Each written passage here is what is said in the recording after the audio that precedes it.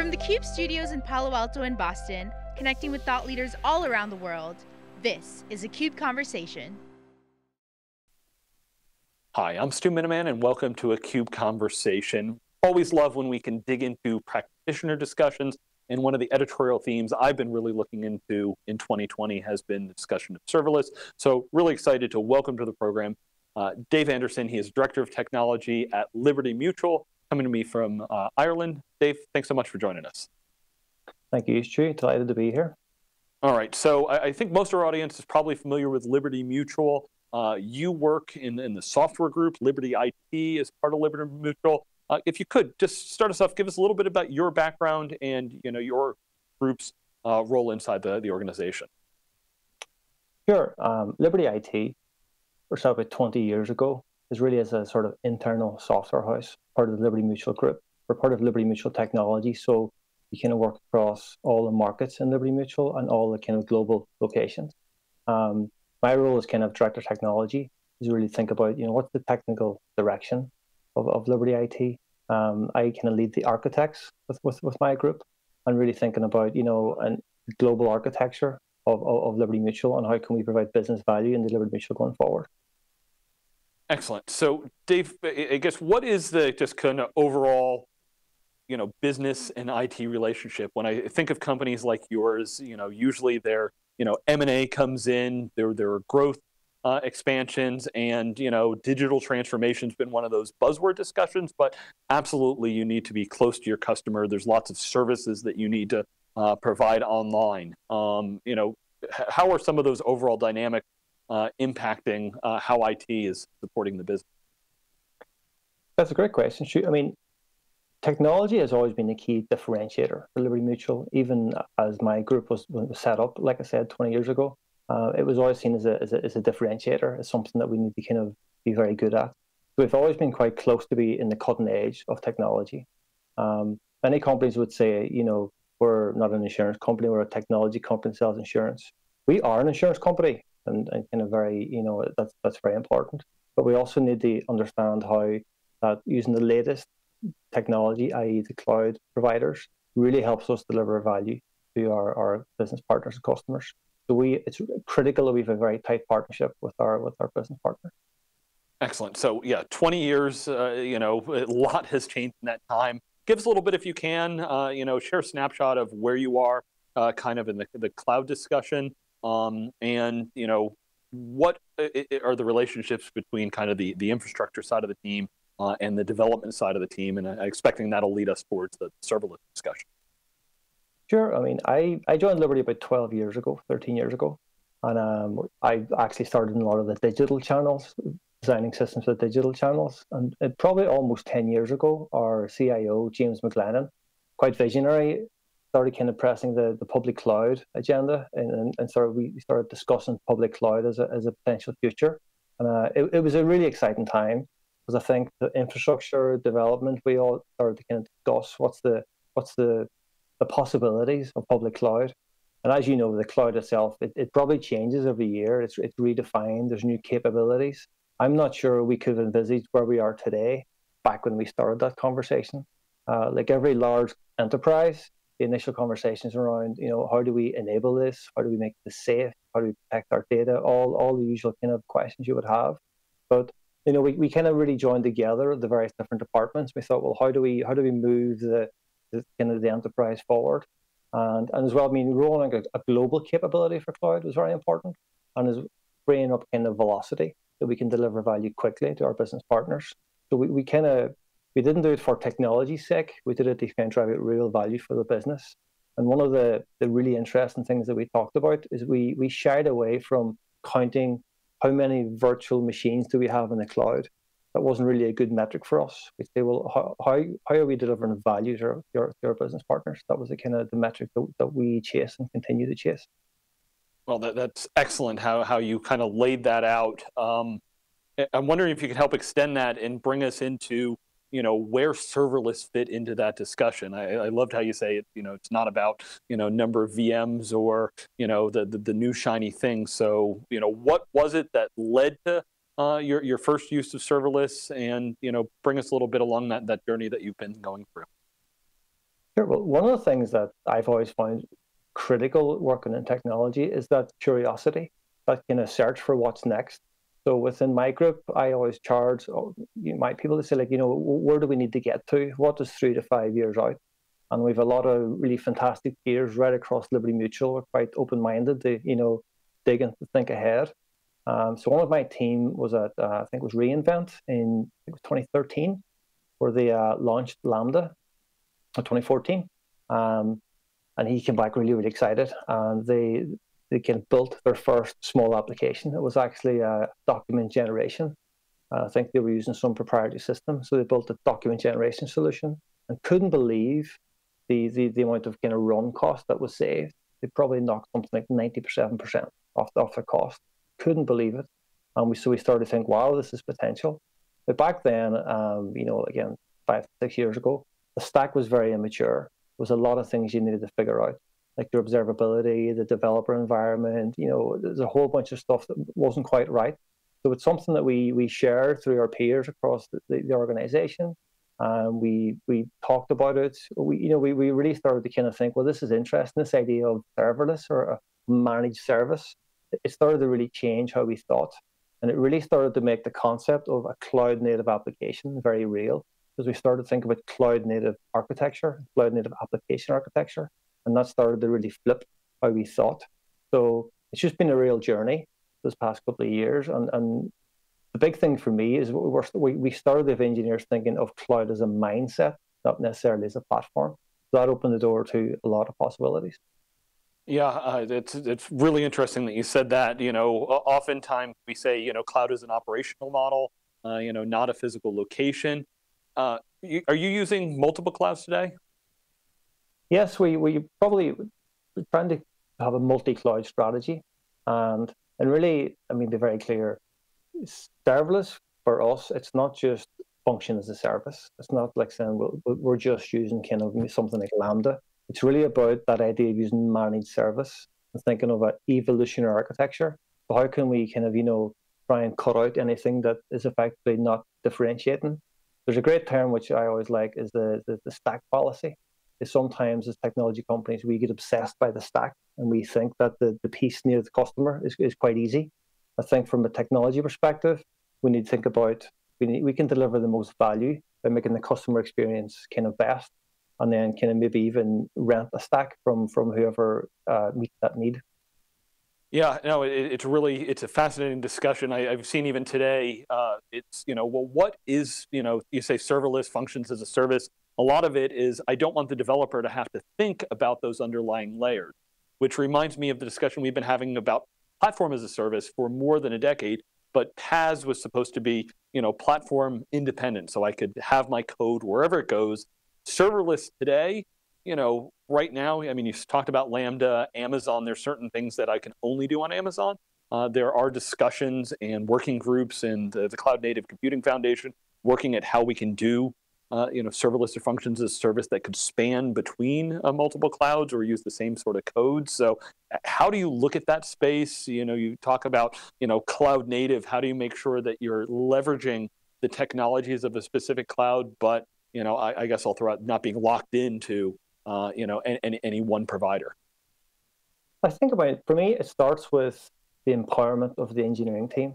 We talk about um, a serverless first strategy that means that you've got the you've got the capability to build anything you need to, but you'll rent where you can. We had a fascinating story. One of our uh, test stories is a company called or a, a, a area called WorkGrid. WorkGrid Software is one of the companies that we spun out of, of Liberty Mutual. That was a project that we had an internal digital assistant that we built with, with some of our teams, maybe back four or five years ago. And um, our CEO, James McGlennon, decided to fund that as, as, a, as a kind of a startup. So they, they broke off around three years ago. And um, that initial team had four people on that engineering team. So they kind of decided that they would be serverless first in their approach. So they didn't have time to think about operability or, you know, right for portability. They had to realize business value really quickly. So if it, so, and they, they took an evolutionary architecture approach, which means they kept incrementing and iterating delivering value where possible. Like, what's the next best thing they can build, deliver value for the customer? So when you think in that regard, if you ever come to a, an Amazon have a great talk about no one way doors, keep a two way door. Don't lock yourself into anything. Make decisions that you can always build upon. So with that kind of you know constant iterative work of our teams and that serverless first strategy, it means that when you do rent a service, if you need to change to another service, it's just a matter of you know if you've got your boundaries set up correctly, it's it's fairly easy to get out of that. You dig yourself in deep to something, then that's a difference. So I think there's there's there's an engineering mindset and, and, and culture that that we certainly have bred within our teams that they kind of go fast, focus on business value, and kind of you know uh, and, and try and be sort of cloud native in their outlook. Uh, excellent. Yeah, that that uh, I just heard Andy Jassy in the uh, AWS Summit online keynote talking about those one-way versus two-way doors. So sounds like from your standpoint, serverless, uh, a two-way door from for architecting in your mindset. Absolutely, and I mean, I think it's really for me, it's it, it, it brings architecture back into the team. Because one of the really nice things is if your team are kind of using managed services that focuses on business value. If our infrastructure is set up to support that type of team, then you have minimal handoffs within the team. So you have a single team, it's their job to you know create value, engineer the solution, make sure the security is good enough, do the operations, the visibility. It's all contained within one team. You get a huge responsibility within that one team as an engineer, that is super powerful, super um, huge autonomy. Um, so we we can talk about the serverless engineer, and for me, it's been absolutely fascinating to see teams come into this environment. And once they understand, you know, that event-driven way of, of, of creating their systems, and I use the word systems rather than applications, they're creating event-driven systems. They're constantly kind of building upon. It's just fascinating to see where they go it's you start to see the creativity and innovation come out of engineers. So it, it it's it's truly it's unbelievable to watch. It really very cool. Yeah, uh, Dave, Dave I'm curious when, when you look at uh, the application portfolio that, that your team manages. How do you decide what goes serverless? Is it you know new development uh, all goes serverless? If there's been a migration, uh, you know how, how, do you look at the overall uh, application portfolio that you have? Sure. Well, it, it kind of depends, I suppose, on. I mean, I'm not going to sit here and say that we're going to refactor everything to serverless. You know, I think when you do migration, you have your, you know, your uh, there's usually six or seven paths you can go down, and you do what's what's best for the business. But for new development, it's definitely interesting. We haven't found many use cases that are, are really a bad fit. It's a spectrum. We may decide, you know, what different service do you use. Um, we we built a system last year, which was absolutely fascinating to see. Um, it's like a a financial um, kind of aggregation system where we do a lot of our accounting. So um, it was a kind of uh, I call serverless ETL. We're trying to run like a end of month batch system to take a lot of accounts from different countries and kind of pipe them into a kind of general ledger. Um, not something I would have thought about for serverless, to be honest. But then when you think about it, and some of our, our kind of engineering needs, as they put this together, they kind of designed this fantastic system using serverless workflows because uh, you're taking lots of various different types of data, orchestrating them into a single destination. And we we've went live with that this year. And I think one of the month ends that they recently ran, I, I think they ran something like 100 million transactions, uh, costing relatively low cost. And of course, being a, a month end system, the rest of the month, there's zero cost. You don't pay for idle. So you only actually pay while it's running in that month end process for maybe, you know, maybe a few hours or something. Yeah, uh, Dave, you, you talked about the in the early days, 2014, when Lambda was announced, reInvent, when you first started using it in the first year or so, just the maturity of that that ecosystem solution set. Where do you see things now? You know, what's working well? What's on your wish list uh, to kind of mature or increase overall functionality to, to help? I think the the developer environment and the developer experience is, is a big part. One of the key messages I've been trying to kind of get into the, the, the into our culture is um, code is a liability. It, it's not an asset. If you have a bunch of engineers writing lots of code, that effectively is a liability. It, there, there's no business asset in that. The asset is in the system that you create. So trying to get engineers into the mindset to write less code and they actually engineer systems. You know, so one of the things that we've been trying to do is maybe using patterns as building blocks people in the kind of like a Lego building block way of, of, of creating the, their, their systems. They're using some things like um, CDK, Cloud Development Kit patterns, um, using the well architected process to make sure that Um, teams are looking after their, their, their cost, their security, their performance, their reliability, and their, their kind of optimizations.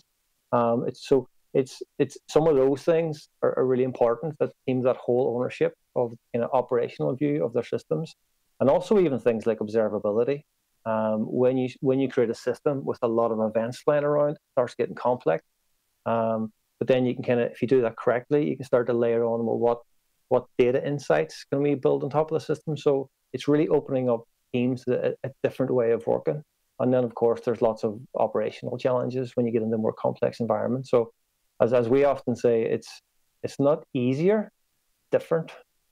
Built difficult to build these systems, but it's different. Uh, so it's definitely not easier, but better. All right. Uh, how about anything that you're looking out to, towards the future? You, you, talked about you know the early days when you, you uh, you know, look at these, and while you're not necessarily, you know, throwing the latest shiny thing into production, uh, there's that that curiosity. So, what, what's what's exciting you now? Uh, anything else, uh, kind of looking forward uh, for that that you could bear? I think, I mean, um, one of the one of the fantastic success stories we've had is with um, a project we called Virtual Assistant, and and, and really answer your question, it's about how teams can properly work at MVP. So one of the things that we really found fascinating is when you put a good engineering team, and I mean a team who are really solid engineers, we then layer on the cloud and security best practices, potential certification. We then put them in a supported serverless environment with a real business problem. They then create an MVP. So our virtual assistant team created an MVP where they would start to um, say if you call into a, a call center and you have a fairly straightforward request, like um, say you know if you have an auto claim, you might say, well, when can I pick up my rental? If you've already done your claim. Um, we have an NLP, a natural language assistant that can help you out with that conversation. So when you start the MVP systems like that, you can start them off at a fairly small traffic until you actually tune that until it's, it, it's kind of perfect, and then you gradually scale up and add on other, you know, data-driven potential AI services, um, you know, integrations to that. So I think we, when you start to take that MVP approach and have a very, very narrow solution, see what that's like in, in the wild, and then start to scale that up. I mean, we, we scaled that system from taking maybe 30 calls to maybe taking a quarter of a million calls. So it's it's it's it's fantastic how you can start to scale these systems up. So I think what I'm really looking for is more kind of support to see how we can, you know, it's it's the art of the possible. How can we use this this tool set and this serverless mindset to create really fascinating, you know, you know, business applications because when you get into that that kind of um, creative conversation with business partners, I mean, they, they don't want to hear about Lambda or events or observability. They want to say, well, what can I do with AI? What can I do with voice? What can I do with vision? You know, you start to open up really fantastic, um, you know, conversations like that. So, I, so I think that's I, I'd like to see more of that, that kind of creative product development. Excellent. Well, yeah, Dave, so important that you you brought back as to how you know IT and the business working together. It's it's not about you know the the technical uh, you know widgets and knobs or anything, but you know the, the the services and the value that ultimately you can provide for the business and uh, you know the impact that has on your ultimate end customer. All right, Dave, thanks so much. Real pleasure uh, having a chat with you. Thanks, Stu. Really appreciate it. Thank you.